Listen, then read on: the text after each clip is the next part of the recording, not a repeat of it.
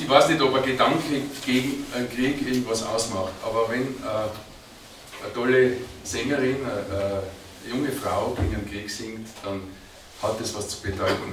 Und wenn vier weitere äh, Mitglieder dieser Gruppe gegen den Krieg spielen, dann hat es noch mehr zu bedeuten. Und wenn, sagen wir mal, 150 Leute gegen einen Krieg singen, den Refrain zumindest, dann ist es eine Art Bewegung und vielleicht.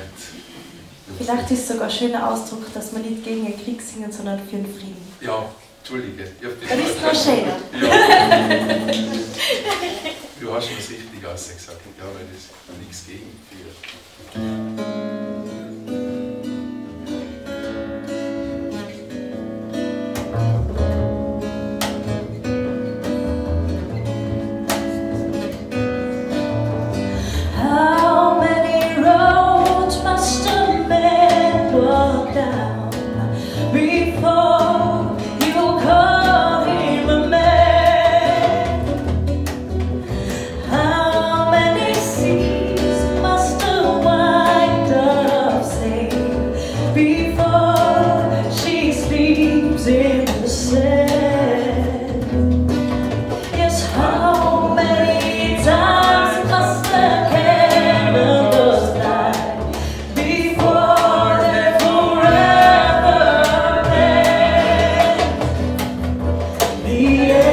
Answer, my friend.